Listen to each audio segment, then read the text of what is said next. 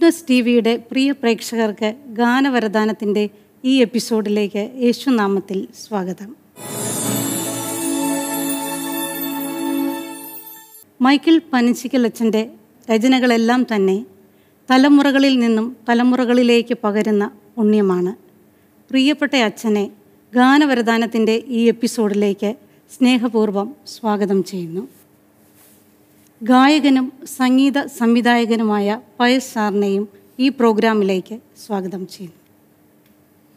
അച്ഛാ നമ്മളിന്ന് തിരഞ്ഞെടുത്തിരിക്കുന്ന ഗാനം തൃക്കൈകളിൽ എന്നുള്ള കാഴ്ച സമർപ്പണത്തിന്റെ ഒരു ഗാനമാണ്. ഈ ഗാനത്തെക്കുറിച്ച് പറയുവാനാണെങ്കിൽ നമ്മൾ ധ്യാനങ്ങളിലൊക്കെയും വളരെ കണ്ടിട്ടുള്ള ഒരു കാര്യമാണ്. ഈ സ്വയം സമർപ്പണത്തിന്റെ വളരെ അർത്ഥവത്തായ ഒരു സംഗീതമാണ്. ഈ ഗാനത്തിൽ മനുഷ്യരവരെ സ്വയം സമർപ്പിക്കുന്നതും അതിലൂടെ ഒരു ദൈവാനുഭവം പ്രാപിക്കുന്നതുമൊക്കെ നമ്മൾ ധ്യാനത്തിൽ കണ്ടിട്ടുണ്ട്. വളരെ മനോഹരമായ ഈ ഗാനത്തെക്കുറിച്ച് അച്ഛൻ എന്താണ് സംസാരിക്കാനുള്ളത്? ഇത് വിശുദ്ധ കുർബാനയിലെ കാഴ്ചവെപ്പിന് വേണ്ടി പ്രത്യേകം ധ്യാന നിമഗ്നനായിരുന്നുകൊണ്ട് ചിട്ടപ്പെടുത്തിയ വരികളാണ്. ഈശോ പറഞ്ഞിട്ടുണ്ട് സ്നേഹിതന് വേണ്ടി ജീവൻ അർപ്പിക്കുന്നതിനേക്കാൾ വലിയ സ്നേഹമില്ല. അപ്പോൾ ഈശോ മനുഷ്യന് വേണ്ടി സമർപ്പിച്ച ഒരു ജീവിതത്തിന്റെ ഉടമയാണ്. ഈശോ തന്നെ തന്നെ സമർപ്പിച്ചു തന്നെ തന്നെ നമുക്ക് തന്നു. തന്നു എന്നത് കുരിശിൽ നമ്മൾ കാണുന്നുണ്ട്. ആ കുരിശിലേക്ക് നോക്കിയിട്ടാണ് ദൈവം എന്റെ പക്ഷത്തുണ്ട് എന്നൊരു പാപി തിരിച്ചറിയുകയും ദൈവത്തിന്റെ പക്ഷത്ത് നിൽക്കുവാൻ കഴിവുള്ള ഒരാളാകുകയും ചെയ്യുന്നത്. അവിടുന്ന് പറഞ്ഞു ഞാൻ ജീവനാണ്. വഴിയാണ് സത്യമാണ് ജീവനാണ്. ജീവനായവൻ തന്നെ തന്നെ തരുമ്പോൾ ജീവനായിട്ട് നമുക്ക് അവനെ കിട്ടണമല്ലോ. അപ്പോൾ ജീവനായിട്ട് നമുക്ക് യേശുവിനെ കിട്ടുന്നത് വിശുദ്ധ കുർബാനയിലാണ്. ഞാൻ സ്വർഗത്തിൽ നിന്നിറങ്ങി വന്ന ജീവനുള്ള അപ്പമാണെന്നും ഇത് ഭക്ഷിച്ചാലേ നിങ്ങൾക്ക് നിത്യജീവൻ ഉണ്ടാവുകയുള്ളെന്നും ഭക്ഷിക്കുന്നില്ലെങ്കിൽ നിങ്ങൾക്ക് ജീവൻ ഉണ്ടാവുകയില്ലെന്നും ഒക്കെ തറപ്പിച്ച് അർത്ഥശങ്കയ്ക്കിടയില്ലാതെ ഈശോ പറഞ്ഞു. ഇത് കേട്ടപ്പോഴാണ് ചില ആളുകൾ ശിഷ്യന്മാരുടെ ഗണത്തിലുള്ളവർ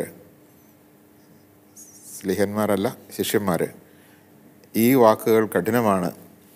ഇത് പ്രായോഗികമാക്കാൻ വിഷമാണെന്ന് പറഞ്ഞിട്ട് ഇറങ്ങിപ്പോയത്. അപ്പോഴും ഈശോ അത് തന്നെ ആവർത്തിച്ചു. അപ്പോൾ അതുകൊണ്ട് നമുക്കറിയാം ഈശോ അൾത്താരയിലാണ് തന്നെ തന്നെ നമുക്ക് ജീവന്റെ അപ്പമാക്കി തന്നത്. അപ്പോൾ ഈശോ കുരിശിൽ സമർപ്പിച്ച അതേ ജീവിതം. അതിന്റെ രണ്ട് ആസ്പെക്റ്റാണ് ശരീരവും രക്തവും. അപ്പോൾ അങ്ങനെ ശരീരവും രക്തവും നമുക്ക് അൾത്താറിയെ തരികയാണ്. എന്നിട്ട് ഈശോ പറയുന്നത് നിങ്ങളിത് എടുത്ത് ഭക്ഷിക്കുക വാങ്ങി കുടിക്കുക. അങ്ങനെ ജീവനെ പ്രാപിക്കുക ശക്തി പ്രാപിക്കുക. എന്നെ നിങ്ങളിലേക്ക് ശക്തിയായിട്ട് നിങ്ങളുടെ ജീവന്റെ ഉൾക്കാമ്പായിട്ട് എന്നെ സ്വീകരിക്കുക എന്ന് പറഞ്ഞാൽ പരിശുദ്ധാത്മാനെ സ്വീകരിക്കുക പിതാവിനെ സ്വീകരിക്കുക എന്നൊക്കെയാണ് അർത്ഥം. അപ്പോൾ ആ ഒരു സമർപ്പണം നമുക്ക് നേട്ടമായി തീരുന്നു സ്വീകരിക്കുമ്പോൾ. അല്ലാതെ കുരിശിലീശ മരിച്ചതുകൊണ്ട് മാത്രം നമുക്ക് ഈശോയെ കിട്ടുന്നില്ല അപ്പോൾ അതുകൊണ്ട് അപ്പമായി ഈശോ തന്നെ തന്നെ തരുന്നു. അതുപോലെ തന്നെ വീഞ്ഞായി തന്റെ രക്തത്തെ വീഞ്ഞാക്കി തരുന്നു. നമുക്ക് രണ്ടും പറയാം. ഈശോ ശരീരത്തെ അപ്പമാക്കി തരുന്നു എന്ന് പറയാം. അപ്പത്തെ ശരീരമാക്കി തരുന്നു എന്ന് പറയാം. രക്തത്തെ വീഞ്ഞാക്കി തരുന്നു എന്ന് പറയാം. വീഞ്ഞിനെ രക്തമാക്കി തരുന്നു എന്ന് നമുക്ക് പറയാം. അപ്പം അങ്ങനെ തരുമ്പോൾ നമ്മളത് സ്വീകരിച്ച് ജീവൻ പ്രാപിക്കുന്നു. ഇതുപോലെ ഈശോ പറയുന്നൊരു കാര്യമുണ്ട്. നിങ്ങൾ ഞാൻ ചെയ്തതുപോലെ നിങ്ങളും ചെയ്യണം. അപ്പോൾ ഈശോ ചെയ്തത് എന്താണോ മറ്റുള്ളവർക്ക് വേണ്ടി സമർപ്പിച്ചു എന്നുള്ളതാണ്. അതുപോലെ നമ്മൾ മറ്റുള്ളവർക്ക് വേണ്ടി സമർപ്പിക്കണം. എന്റെ നാമത്തിൽ സമർപ്പിക്കരുത്. പിന്നെയോ? ഈശോയോട് ചേർന്ന് സമർപ്പിക്കണം. അവിടെയാണ് മൂല്യം ഉണ്ടാകുന്നത്. പലപ്പോഴും നമ്മൾ ഓരോ സൽക്കർമ്മങ്ങൾ ചെയ്യുന്നതും സ്വന്തം നാമത്തിലായി പോകുന്നു എന്നുള്ളൊരു ഒരു അപജയമുണ്ട്. അങ്ങനെ സ്വന്തം നാമത്തിൽ ചെയ്യുമ്പോഴാണ് അത് അതിന്റെ പേരിൽ ഞാൻ അംഗീകരിക്കപ്പെടണം. പരിഗണിക്കപ്പെടണം.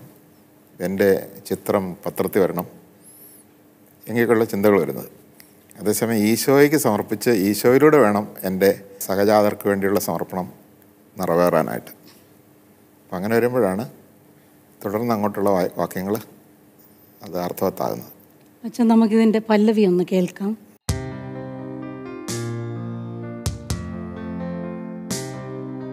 തൃക്കൈകളിൽ പൂജ്യപാദങ്ങളിൽ കാണിക്കയായി സ്വയം നൽകുന്നു ഞാൻ.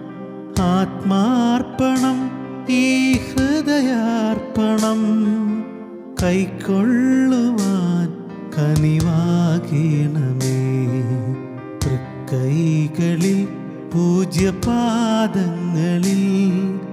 കാണിക്കയായി സ്വയം നൽകുന്നു ഞാൻ. ആത്മാർപ്പണം ഈ ഹൃദയാർപ്പണം കൈക്കൊള്ളുവാൻ കനിവാകേണമേ. ഞങ്ങൾ ഈ പാട്ട് വളരെ കാലം മുന്നേ പാടി തുടങ്ങിയതാണ്. ഈ പാട്ട് കാഴ്ചവെപ്പിന് ലാറ്റിൻ കുർബാനയിൽ പ്രത്യേകിച്ച് കാഴ്ചവെപ്പിന് പാടുന്നൊരു പാട്ടാണ്.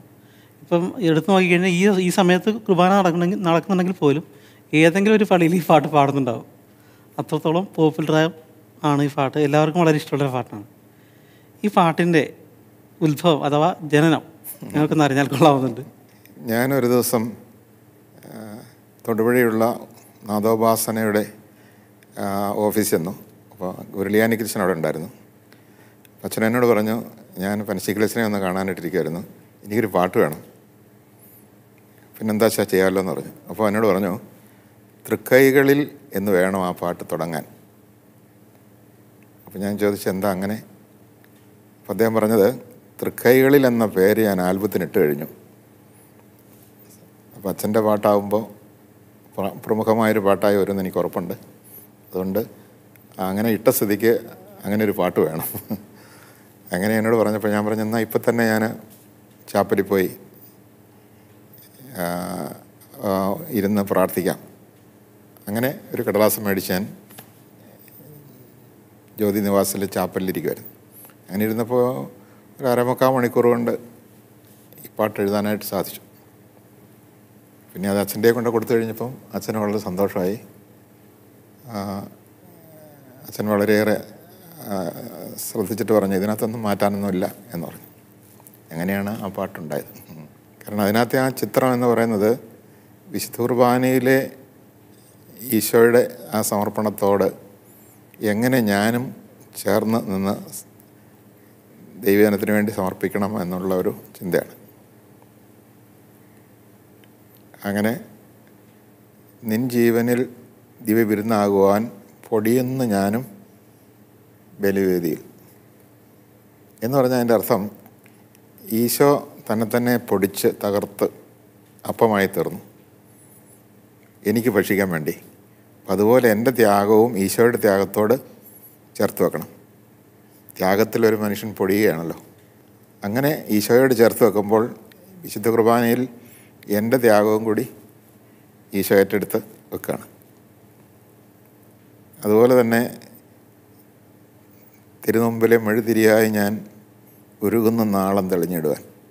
അവിടെയും പ്രകാശം പരക്കണമെങ്കിൽ നീറണം അല്ലേ? ഉരുകണം. അപ്പോൾ അത് ഈശോയുടെ സഹനത്തെയാണ് ഉദ്ദേശിക്കുന്നത്. അപ്പോൾ ഈശോയുടെ സഹനത്തോട് എന്റെ സഹനത്തെ ഞാൻ ചേർത്ത് വെക്കുന്നു. അങ്ങനെ ഞാനും ലോകത്തിന്റെ പ്രകാശമായ ഈശോയോട് ചേർന്ന് ഉരുകി പ്രകാശിക്കുന്നു. അപ്പം എന്റെ ഭാഗഭാഗത്വം ഈശോ ഈശോയുടെ വലിയ വേദിയിലുള്ള എന്റെ ഭാഗഭാഗത്ത് ഞാൻ ഉറപ്പാക്കുകയാണ് ആ രീതിയിൽ. ആ രീതിയിൽ ഞാനും മറ്റുള്ളവർക്ക് വേണ്ടി സ്വയം സമർപ്പിക്കുന്ന ഒരു ഒരു പ്രക്രിയയിൽ പങ്കുചേരുന്നു എന്നുള്ളതാണ്. അച്ഛൻ നമുക്കിനി അനുപല്ലവി ഒന്ന് കേൾക്കാം. നിൻ ജീവനിൽ ദിവ്യവിരുന്നാകുവാൻ പൊടിയുന്നു ഞാനും ബലിവേദിയിൽ. നിൻ ജീവനിൽ ദിവ്യവിരുന്നാകുവാൻ പൊടിയുന്നു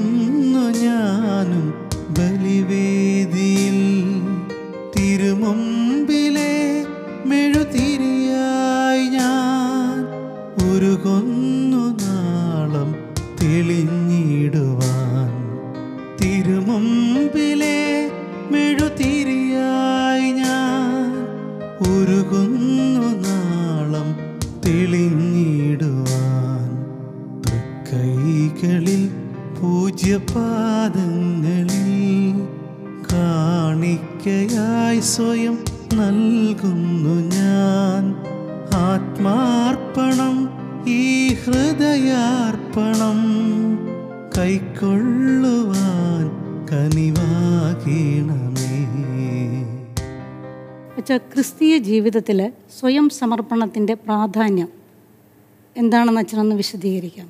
ക്രിസ്തീയ ജീവിതത്തിൽ നമ്മൾ യേശു ക്രിസ്തുവിനാണ് നമ്മളെ തന്നെ സമർപ്പിക്കുന്നത്. ആ സമർപ്പണം വഴി നമ്മൾ എല്ലാവരുടേതുമായി തീരുകയാണ്. സത്യത്തിൽ സമർപ്പണത്തിന്റെ പ്രതീകമാണല്ലോ സഹനം പരസ്നേഹം ത്യാഗം ഇതൊക്കെ. ഈ ത്യാഗവും സഹനവുമെല്ലാം മനുഷ്യരക്ഷയ്ക്ക് വേണ്ടി പ്രയോജനപ്പെടണമെങ്കിൽ ഈശോയുടെ സഹനത്തോട് ഈശോയുടെ സമർപ്പണത്തോട് ഇത് ചേരണം. ഞാൻ എന്നെ തന്നെ ഈശോയ്ക്ക് കൊടുക്കുകയാണ്. ഈശോയ്ക്ക് കൊടുക്കുന്ന ആർക്ക് വേണ്ടിയാണ് ഈശോ സ്നേഹിക്കുന്ന പ്രിയപ്പെട്ടവർക്ക് എന്നെ സംലഭ്യമാകാൻ വേണ്ടിയാണ്. അതുകൊണ്ട് ഈശോയുടെ സഹനത്തോട് എന്റെ സഹനത്തെ ചേർത്ത് വെക്കുന്നു. എന്റെ ത്യാഗം ഈശോയുടെ ത്യാഗത്തോട് ചേർത്ത്. വെക്കുന്നു. അപ്പം അങ്ങനെ ഞാൻ എല്ലാവരുടേതുമായി തീരുന്നു. അല്ലാതെ ഈശോയെ മുൻ മാറ്റി നിർത്തിക്കൊണ്ട് ഞാൻ ഒരാൾക്ക് സമർപ്പിക്കാൻ പോയാൽ വാസ്തവത്തിൽ അവിടെ ഒരു എന്റെ മേധാവിത്വമായിരുന്നു. ഞാൻ ആർക്ക് സമർപ്പിച്ചോ അല്ലെങ്കിൽ ആർക്ക് വേണ്ടി എന്തെങ്കിലും ചെയ്തെങ്കിൽ അവർ തിരിച്ചെന്നെ നന്ദി പറഞ്ഞ് ശ്രദ്ധിക്കണമെന്ന് ഞാൻ ആഗ്രഹിക്കും. അതുപോലെ അത് നാലുപേരെ അറിയണമെന്നൊക്കെ ഞാൻ ആഗ്രഹിക്കും. അങ്ങനെ ആഗ്രഹിക്കാതെ ചെയ്യാൻ പറ്റുന്നത് ഈശോയ്ക്ക് സമർപ്പിക്കുമ്പോഴാണ്. ഈശോ പറഞ്ഞല്ലേ ഈ ചെറിയവരിൽ ഒരുവനെ കാണുമ്പോൾ അവർ എന്നെ കാണണം. അതുപോലെ തന്നെ ഈശോ പറഞ്ഞില്ലേ നിങ്ങളൊരു പാത്രം വെള്ളം കുടിക്കാൻ കൊടുത്താൽ പോലും അത് സ്വന്തം നാമത്തിൽ കൊടുക്കരുത് പിന്നെയോ? എന്റെ നാമത്തിൽ യേശുവിന്റെ നാമത്തിൽ കൊടുക്കണം. അങ്ങനെ യേശുവിന്റെ നാമത്തിൽ കൊടുക്കുമ്പോൾ ഞാൻ നമ്മൾ നേരത്തെ ഒരിക്കൽ പറഞ്ഞതുപോലെ യേശു എന്നോട് കാണിച്ച സ്നേഹത്തിന് ഞാൻ കാണിക്കുന്ന ഒരു പ്രതിസ്നേഹമായിട്ടാണത് വരുന്നത്. അവിടെ എനിക്ക് ഞാനിങ്ങനെ ചെയ്തതിന്റെ പേരിൽ എനിക്കൊരു ഡിമാൻഡും ഇല്ല കാരണം അത് ഞാൻ എനിക്ക് കിട്ടിയതിന്റെ പ്രതിസ്നേഹമാണത്. ആ രീതിയിലാണ് വരുന്നത്. അപ്പോൾ അവിടെയാണ് നമ്മുടെ സമർപ്പണത്തിന്റെ പ്രത്യേകത വരേണ്ടത്. അതുപോലെ തന്നെ ഈശോയുടെ സമർപ്പണത്തെക്കുറിച്ച് നമുക്ക് പറയാം. ഈശോ സമർപ്പിക്കുന്നത് നമുക്ക് വേണ്ടിയാണെങ്കിലും ഈശോ പിതാവിനെ സമർപ്പിക്കുന്നത്. പരിശുദ്ധാത്മ വഴിയാണ് എല്ലാവർക്കുമായിട്ട് എത്തുന്നത്. അല്ലാണ്ട് ഈശോ പിതാവിനെ അവഗണിച്ചുകൊണ്ട് സ്വന്തം നാമത്തിൽ നമുക്ക് തരികയല്ല. പിതാവിന്റെ കരങ്ങളിലാണ് സമർപ്പിക്കുന്നത്. ആർക്ക് വേണ്ടി? നമുക്ക് ഓരോരുത്തർക്കും വേണ്ടി. അപ്പോൾ പിതാവ് പരിശുദ്ധാത്മാവിലൂടെയാണ് ഈശോയെ നമ്മളിലേക്ക് എത്തിക്കുന്നത്. അപ്പോൾ അവിടെയാണ് നിസ്വാർത്ഥത നമ്മൾ കാണുന്നത്. അച്ഛൻ നമ്മൾക്കിനി ഇതിന്റെ ചരണം ഒന്ന് കേൾക്കാം. സഹജാതരിൽ ഇന്നും കാണുന്നിതാ മുറിവേറ്റ നിൻ പ്രിയ മുഖശോഭ ഞാൻ സഹജാതരിൽ ഇന്നും കാണുന്നിതാ മുറിവേറ്റ നിൻ പ്രിയ മുഖശോഭ ഞാൻ ആശ്വാസവും സ്നേഹപീയൂഷവും പകർന്നേകുവാൻ ബലമാകണമേ. ആശ്വാസവും സ്നേഹപീയൂഷവും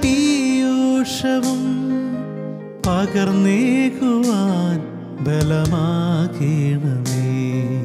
തൃക്കൈകളിൽ പൂജ്യപാദങ്ങളിൽ കാണിക്കയായി സ്വയം നൽകുന്നു ഞാൻ. ആത്മാർപ്പണം ഈ ഹൃദയാർപ്പണം കൈക്കൊള്ളുവാൻ കനിവാകണമേ. അച്ഛാ സഹജാതരിൽ കാണുന്നു ഞാൻ. മുറിവേറ്റ നിൻ പ്രിയ മുഖശോഭ ഞാൻ. ഈ മുറിവേറ്റ മുഖശോഭ അച്ഛൻ എന്താണ് അതിൽ നിന്ന് ഉദ്ദേശിക്കുന്നത്? അതായത് ഈശോയുടെ മുറിവിന് ഒരു ശോഭയുണ്ട്. എന്തുകൊണ്ടാണ് ശോഭയുണ്ടെന്ന് പറയാൻ കാരണം? അത് സ്നേഹത്തിന്റെ പ്രകാശനമാണ്. അതുകൊണ്ടാണ്. നിസ്വാർത്ഥതയുടെ പ്രകാശനമാണ്. അപ്പം അതുപോലെ നിരപരാധികൾ സഹിച്ചു കിടക്കുമ്പോൾ ആ സഹനത്തിന് ഒരു ശോഭയുണ്ട്. അപ്പോൾ ഈശോയുടെ സഹനത്തിന്റെ ഒരു തുടർച്ചയാണ് നിരപരാധിയുടെ സഹനം. അപ്പോൾ അവിടെ ഞാൻ ഈശോയെ കാണുന്നു. നേരത്തെ നമ്മൾ പറഞ്ഞില്ലേ നമ്മുടെ സഹനം ഈശോയുടെ സഹനത്തോട് ചേർത്ത് വെക്കുന്നു.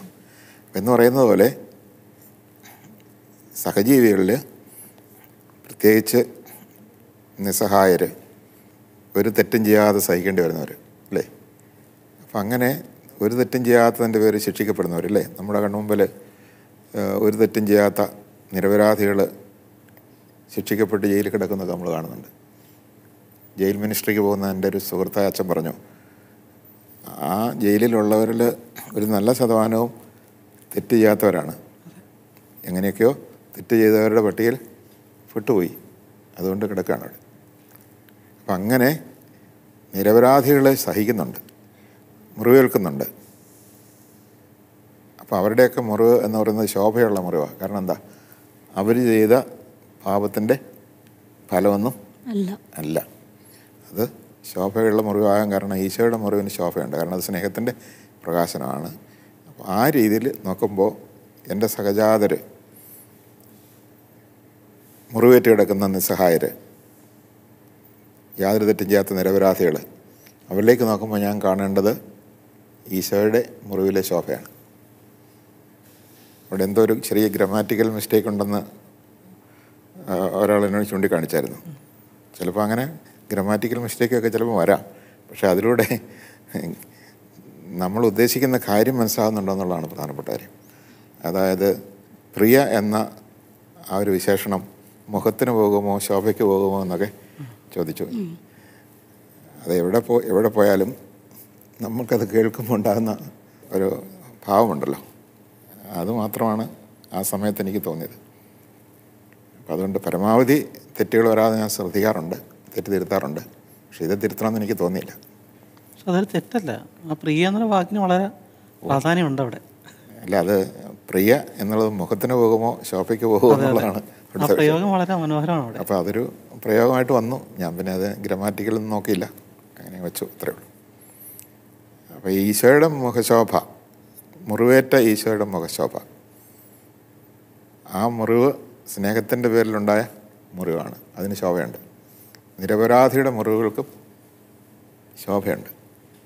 ആ ശോഭ നമ്മളവിടെ കാണണം.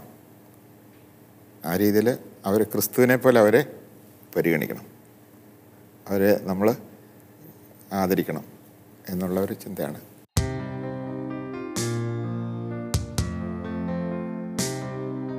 തൃക്കൈകളിൽ പൂജ്യപാദങ്ങളിൽ കാണിക്കയായി സ്വയം നൽകുന്നു ഞാൻ. ആത്മാർപ്പണം ഈ ഹൃദയാർപ്പണം കൈക്കൊള്ളുവാൻ കനിവാകണമേ. തൃക്കൈകളിൽ പൂജ്യപാദങ്ങളിൽ കാണിക്കയായി സ്വയം നൽകുന്നു ഞാൻ. ആത്മാർപ്പണം ഈ ഹൃദയാർപ്പണം കൈക്കൊള്ളുവാൻ കനിവാകണമേ.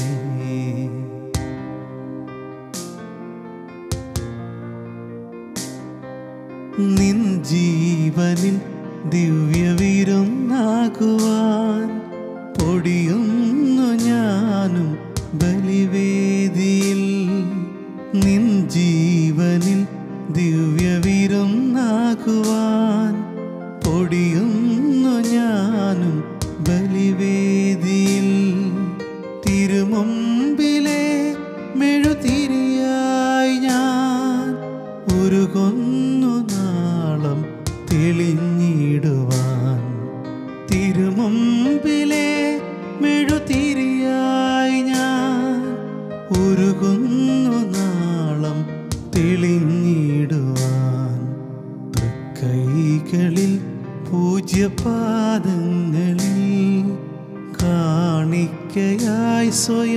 നൽകുന്നു ഞാൻ.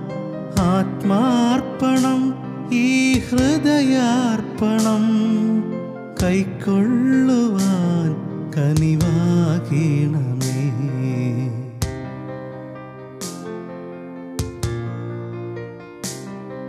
സഹജാതരിൽ ഇന്നും കാണുന്നിതാ.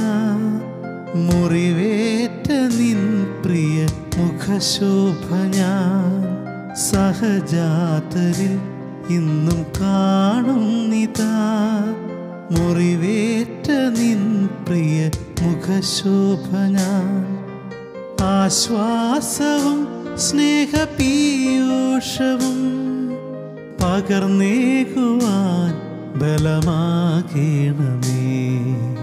ആശ്വാസവും സ്നേഹപീയൂഷവും